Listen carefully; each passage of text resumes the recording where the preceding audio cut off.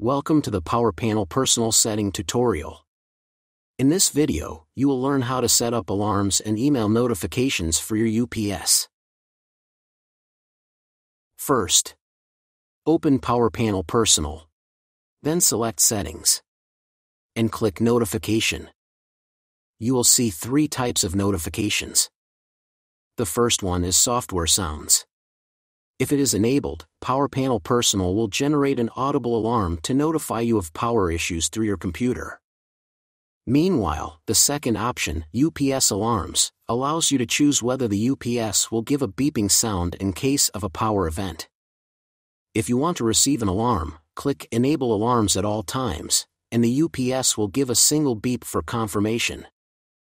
To turn off the alarm, click Disable Alarms at all times, and it will beep twice to confirm the change.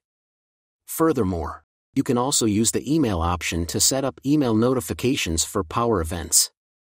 First, click Yes to activate this option. Enter the following information related to the SMTP service provider for sending notifications to the receiver. Set the authentication to Yes. And enter the account and password to access the SMTP server. Then enter the email address of the receiver. Click Apply to save the account and password before sending a test email.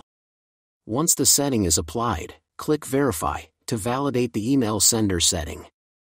When the successful message shows up, click Test as the final step. An email with the subject Power Event Notification will be sent to the recipient to make sure the notification system works properly. This is all about the UPS alarm and email notification settings.